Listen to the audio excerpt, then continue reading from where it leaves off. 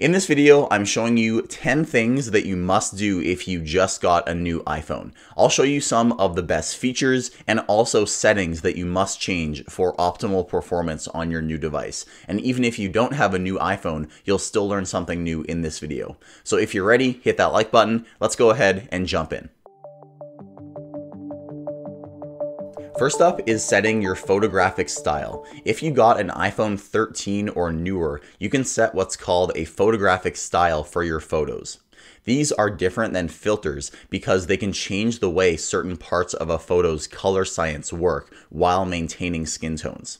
You can choose your photographic style in the camera app or in settings. Swiping through the different options gives you a preview of what each one will look like. My favorite is called rich contrast as it really makes the subject in the photo stand out. I also think a lot of people will like the vibrant option as well. And you can also adjust each one to really fine tune the look even further.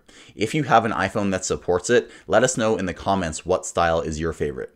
Next up at number two is setting your video settings. Many people will get a new iPhone and just start recording video at the default settings, not knowing that they're missing out on a bunch of quality.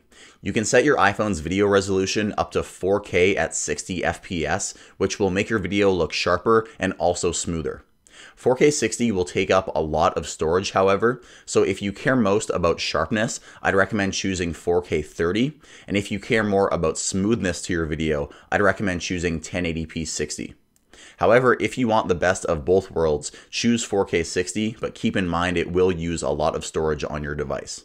Another setting I'd recommend turning on is called Auto Low Light FPS. This will automatically downgrade the video's frame rate when in bad lighting so the sensor can capture even more light. Number three is customizing your control center. This is another thing that most people just leave at the default settings and don't realize that their iPhone can be so much more useful if they take the time to customize it. You can add so many widgets to Control Center. Some of my favorite include dark mode, my Apple TV remote, access to a quick note, the calculator, and also Shazam music recognition. These toggles can be even more useful if you press and hold on them to reveal even more options. So if you have a new iPhone, I'd recommend browsing settings and pick some useful toggles to add to your control center. Next up at number four is a feature called back tap. I talked about this recently in another video, so I promise I'll be concise, but this feature is just too darn good to leave out of this video.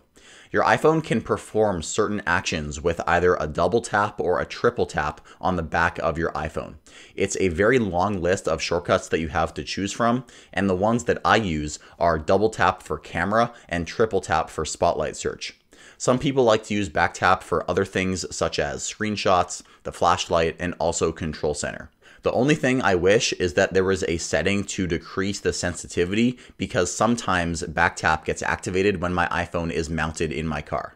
Number five is turning on haptics for the keyboard. This is a new feature in iOS 16 and it lets you have really satisfying haptics when you type on your iPhone's default keyboard. Open up settings and go to sounds and haptics. From here, click on keyboard feedback, and then you can choose to turn on sound feedback and also haptic feedback for the keyboard. I can guarantee once you turn on haptics, you'll never want to type on your iPhone without it ever again. So go and try it out and let me know your initial thoughts in the comments. Number six is automatic downloads for Apple Music. If you're subscribed to Apple Music, you may know that this is very frustrating. Whenever you add a song into your library, it doesn't automatically download it to your device. You have to do this manually for each song or album. You can actually turn on a setting called automatic downloads in music settings. This way, as soon as you add a song or album into your library, it's going to automatically start downloading to your device. This feature has saved me many times when traveling, and when in airplane mode, I am so glad my iPhone downloaded everything for me.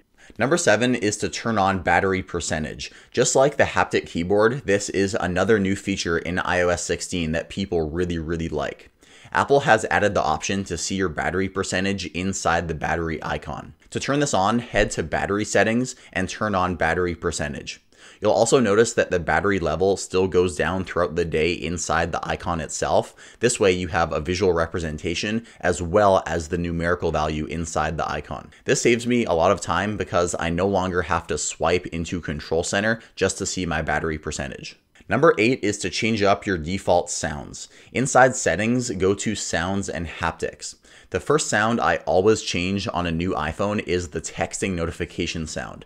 I find the ding of the bell really, really annoying, so I always change it to some other sound such as Aurora or Bamboo. Inside this settings page, you can also choose if you'd like to adjust your ringer volume with the buttons, which I always leave off. I always set my ringer volume one time inside of this settings page and it stays the same all the time. One final setting in this page, if you choose headphone safety, you can choose to reduce loud sounds coming from your iPhone. You can set a certain decibel limit, and anything above that limit will be filtered by your iPhone to protect your hearing. Number nine is to add widgets to your home screen.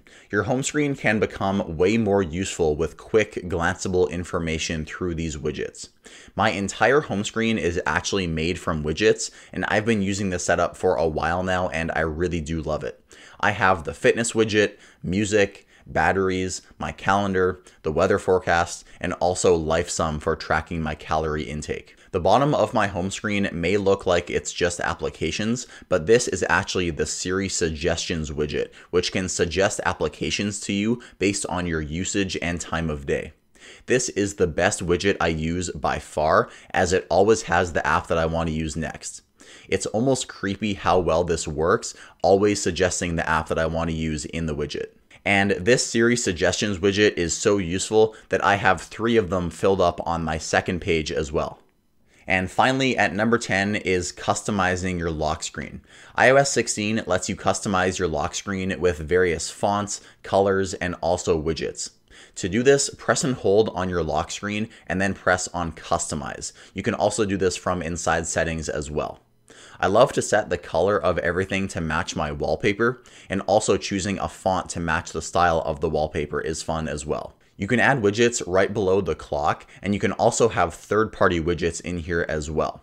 With iOS 16, you can have as many of these lock screens as you'd like, and if you want to see even more detail on this, make sure to check out our full video walkthrough on how to customize your iOS 16 lock screen.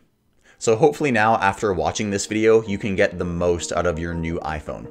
I'm also curious to hear from you guys, so make sure to head into the comments and tell me which new iPhone you have. If you guys found this video informative and helpful, please give us a like as it does really help us out. My name is Michael with IDB, and I'll see you next time.